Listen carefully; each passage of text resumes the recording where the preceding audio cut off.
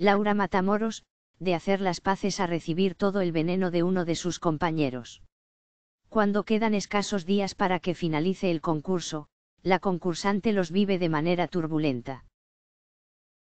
Apenas queda una semana para que conozcamos el nombre del ganador o ganadora de esta edición de Supervivientes, de la que Laura Matamoros y José Luis han sido los primeros dos finalistas. Precisamente la primera está teniendo unos días complicados con sus compañeros con los que pasa de hacer las paces y llevarse de maravilla, a recibir ataques por parte de estos.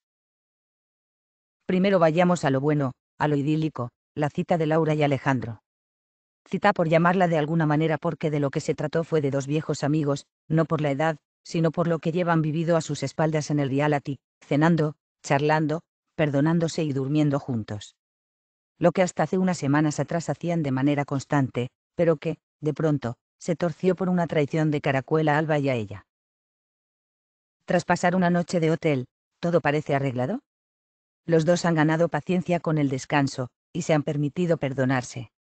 Laura ha advertido a su amigo que todos van a por él, que es uno de los más fuertes y harán todo lo posible para quitárselo del camino. Le ha pedido que no se fíe y esté alerta, Alejandro ha admitido haberlo sentido y cree que los otros, a veces, han jugado sucio. El modelo se ha terminado arreglando con su amiga cuando le ha dicho que ella se merecía estar con él disfrutando del increíble regalo en esta prueba de recompensa. Y, ahora, todo lo malo. Laura ha tenido que soportar como José Luis le decía que no era merecedora de estar en la final. Recapitulemos. Hace solo unos días le decía que sí en la gala, y ahora le dice que no. ¿Qué ha pasado? Cuenta el Masterchef que ha estado haciendo examen de conciencia y que aquello que le dijo, se arrepiente. Quiero pedir disculpas lo primero. Hace un par de semanas Laura me pidió perdón por los insultos tan graves que me había dicho, se las acepté. El rollo que llevamos ahora es cordial y más o menos bueno, pero el otro día, cuando Sandra me preguntó si Laura se merecía estar en la final dije que sí, pero mi respuesta es que no. Lo digo ahora porque entonces no quise echar leña al fuego.